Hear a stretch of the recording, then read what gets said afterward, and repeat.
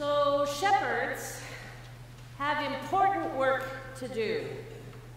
Work that can literally mean the difference between life and death. Shepherds are entrusted with keeping their flock safe, leading them to places where there is enough to sustain life. Because shepherds lead, followers are less to get so fear jazzed that they bolt from safety into danger. Shepherds matter. And Jesus knew this. And his followers knew this. The metaphor of shepherding is so powerful that the love of God in human flesh form came into this world in order to lead and comfort and provide reminder that each of us is known by name and loved and led. So we gather every Sunday under a very subtle visual reminder of that. Right? It is such a powerful, powerful icon. The light of grace shining through the Good Shepherd. God is our shepherd. We want for nothing. So, through this Love Actually series that we're doing post Easter, we're asking ourselves so what? So what that Easter happened? How are our lives forevermore changed? By the life and the death and the resurrection and the ongoing presence of Jesus, who is the consummately fine Good Shepherd. What is it to be human beings, shepherded by the Holy? Barbara Brown Taylor, in her heartbreakingly powerful book called Leaving Church, reflects about what it is to be in love with Jesus and what it means to not only be in love with Jesus, but then to decide to love in the way of Jesus. And what she says about that is this committing myself to the task of becoming more fully human is saving my life right now. To become fully human is something extra. To become fully human is a conscious choice that not everyone makes. Based on my limited wisdom, she says, and experience, there is more than one way to do this. If I were a Buddhist, I might do it by taking the Bodhisattva vow, and if I were a Jew, I might do it by following Torah. But because I am a Christian, I do it by imitating Christ. Although, she says, I will be the first to admit that I want to stop about a day short of following him all the way. In Luke's gospel, she goes on to say, there comes a point when Jesus turns around and says to the large crowd of those who are trailing after him, Whoever comes to me and does not hate father and mother, wife and children, brothers and sisters, yes, even life itself, cannot become my disciple. Make of that what you will, Barbara Brown Taylor says. But I think that this was Jesus' way of telling the disciples to go home. He didn't need people to go to Jerusalem to die with him. What he needed was people to go back where they came from and live the kind of lives that Jesus risked his own life to show them. Lives based on resisting the powers of death, of standing up for the little and the least, of turning cheeks and of washing feet, of praying for enemies and for loving the unlovable. That's what it means to be people of Jesus Christ. Living love, actually, means living the kinds of lives that Jesus risked his own life to show us. lives of resisting the powers of evil and oppression, of standing up for the little and the lost, for those who feel so often disempowered in this world, and sometimes we know those people are us. Of finding a way when it feels like there may be no way. That's living love, actually. 15 years ago, I saw an ad in the Christian Century magazine for a program that was being offered, and so I applied for it, which was an unlikely sort of a thing, but it looked really interesting. What the program was offering was that 30 clergy women from throughout the United States and Canada, women of all faith, Protestant faith denominations, who were serving as, as pastors, would be collected into an intentional Christian community with Benedictine nuns in a monastery outside of Indianapolis. And the program is called Women Touched by Grace. So, this program was the heart child of a Benedictine nun who goes by the name of Sister Mary Luke. And she was very concerned about the statistics that she had read. And the statistics are this women clergy bail out in ministry at about twice the level that male clergy do, for all kinds of gender based reasons, right? She was concerned about that. And she wanted to support Protestant clergy women, so she cooked up this program that involved going to the monastery twice a year for 10 days over a period of three years. And the seventh time we got together was in Rome in order to learn more about Benedict in Rome. This was funded by the Eli Lilly Foundation. So, I applied and I got accepted. And I'm pretty sure that program saved my ministry. I'm so grateful. So each session that we got together, we had a kind of a topic germane to women clergy um, and humans. And we had a teacher that was brought in. And we had time to pray with the sisters in chapel. We had covenant discipleship groups. We shared the sacrament of coffee.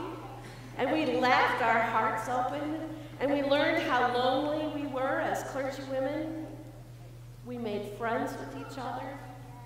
And we learned ministry through our sharing of wounds and of joys and through being human together in a place set apart for just such a thing as that.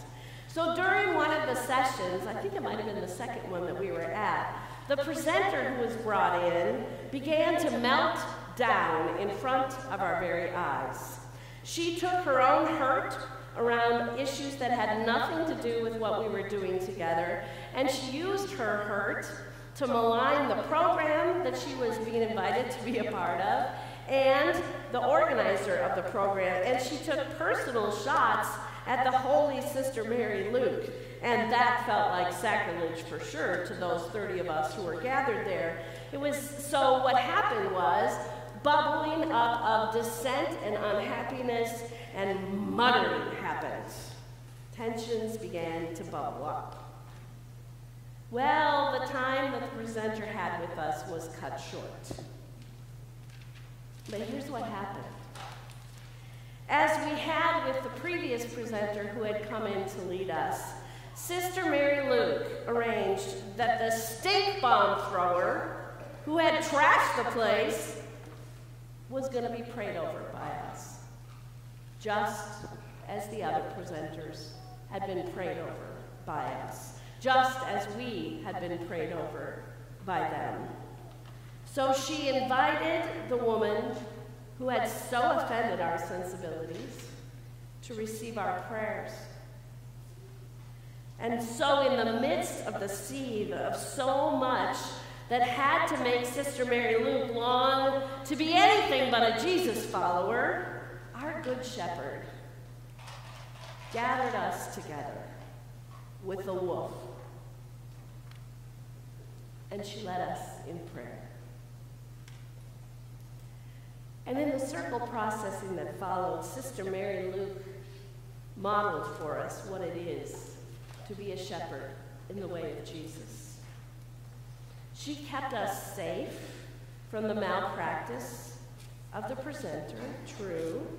She created space where we could hear ourselves into healing, true. But maybe most importantly, what Sister Mary Lou did was this she kept us safe from the snarling ways that we might have savaged that fellow child of God. She kept us safe from our own outrage and our own sense of self righteousness. That's good shepherding. That's good leadership. And it turns out that that's our call in life, brothers and sisters. Jesus came in order that we would learn to live what it is to live love actually. So I'm returning to Beech Grove today. We're having a reunion 15 years later for four days. I get to pray with the sisters, and I get to laugh with my sisters, and I get to sing and learn and marvel at how it is that 15 years ago I was led into the green pastures of a Benedictine monastery. And I will never be the same. I'm a woman touched by grace. And you, you, each one of you, you are shepherds in such powerful ways. I watch you. I watch the ways you live love together. It is a stunning and a beautiful thing. You are men and you are women touched by the power of God's reaching toward you and God's loving through you. And how is it that you imitate Christ and how it is that you live love actually? You do it in such stunning ways. In ways you don't even know, I suspect. There's one other thing that I love about uh, the role of the shepherd. What we learn about shepherds is that they understand how sacred bodies are.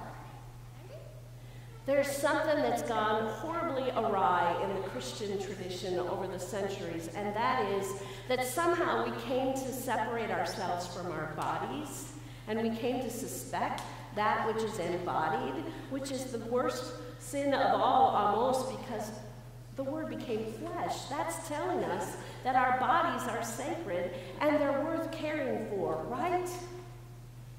On this Earth Day, what I want to submit to us is what Sallie McFague, who is a fabulous theologian, posits is true. She says that the earth the earth is God's body. The earth is God's very body. The whales and the spiders and the loons and the water and the stars and each little flower that opens is God's very body. And our bodies are sacred. And so, as shepherds of all that is, because if Jesus is a shepherd, we are called to imitate Christ, correct? We are called to be shepherds.